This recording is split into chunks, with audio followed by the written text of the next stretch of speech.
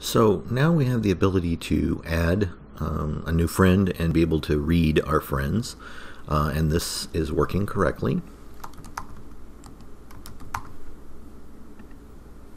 And it re redirects back here.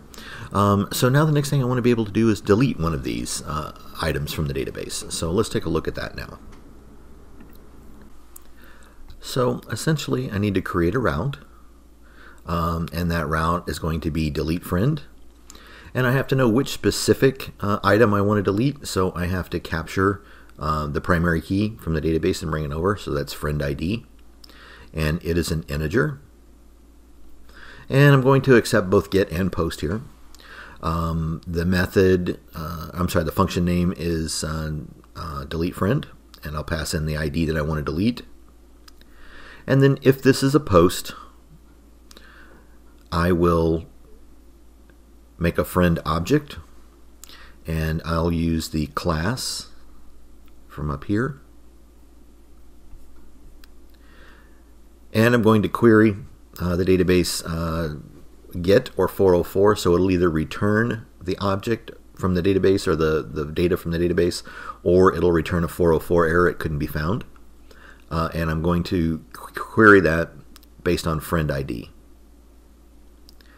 And after I've populated this friend object now with that item from the database, uh, I want to delete it.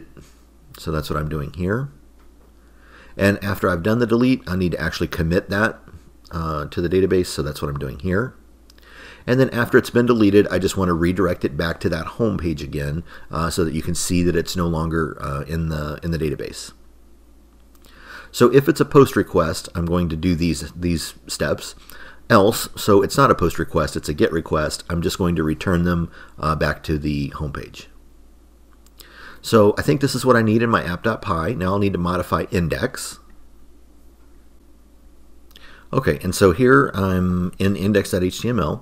Uh, I'm bringing in uh, all, all of the friends uh, so they get um, picked up in the query uh, and brought into index.html. So then for each row, so for each item in this friends collection, uh, I'm laying out the, the pieces that I need, and this is from the class, which is from the database. So after that, uh, after those three things, then I want to have a button where I can delete. Um, and so to do that, I've just added another piece of table data here. And inside of that table data, I've put a form. And the form uh, here, I'm using url_for. Uh, so url_for uh, will look for the function named delete friend. So this isn't an actual URL, but now it's referring to that function. So in app.py, it's referring to this and it's going to pass uh, to that URL uh, friend underscore ID. So that's the variable it's going to pass, and it's going to pass or it's going to populate that with row friend ID. So it's going to get the friend ID out of the row, which is from the database, which is the primary key, and it's going to stick that into a variable called friend underscore ID, and it's going to be a method post, so it'll pass all of that to this delete friend function delete friend function, we'll pick it up here uh, and use friend ID and then work down through the post. So let's see if this actually works.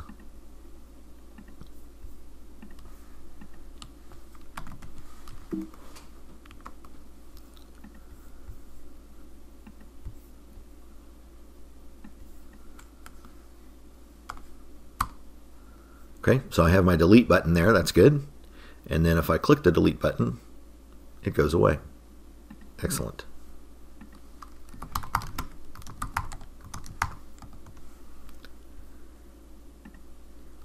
Delete seems to be working as it should.